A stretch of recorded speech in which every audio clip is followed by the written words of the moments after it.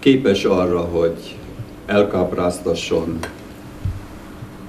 elrepítsen a múltba, elkápráztasson azokkal a gondolatokkal, amelyeket nélküle nem valószínű, hogy, hogy elő tudnánk állítani önmagunkban. Így jellemezték a Salgó-Tarjáni írót, dr. Füst Antalt és gazdag munkásságát.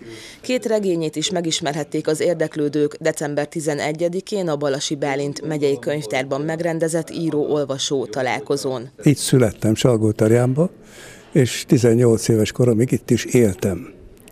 Aztán ugye elszólított az élet, az egyetem, és utána Dunántúli munkák, de az ember csak visszakívánkozik a szülőföldjére, ezért amikor el, sikerült nyugdíjba mennem végre, akkor elkezdtem a Salgótarjáni nevezetességekről könyveket írni.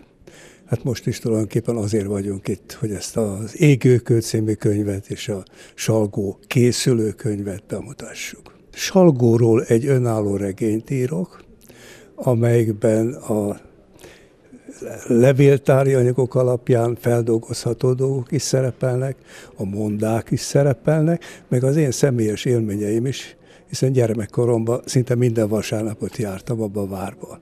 Szeretném, hogyha megörökíteném írott formába is, olvasmányosan azt a levéltári anyagot sokkal jobb olvasni.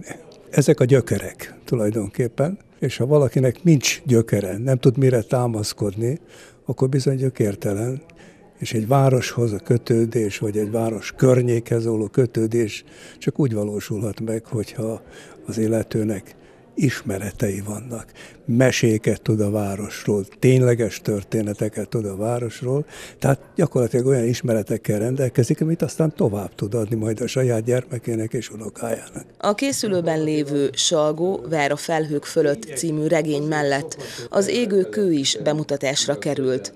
A kötet a Nógrádi szénbányászat történetét mutatja be olvasmányos formában. Dr. Füst Antal igazi lokálpatriótaként egyébként már számos könyvében foglalkozott Salgótarján és a környék történelmével, nevezetességeivel és váraival. Eddig 12 könyvem jelent meg, abból várakkal foglalkozik, ha jól emlékszem, 8, és jelenleg is egy várral, várról szóló regényt írok az Ecsegi várról. Nagyon olvasmányos, olyan mondái vannak, hogy abból érdemes regényt írni. Tehát van itt még a, a Óvár című regény is, ami a Mátrai Ágasvár Óvár kapcsolatáról szól, és hát ilyen formán még a Pécs körül is van egy kész regényem, jelen pillanatban a nyomdában.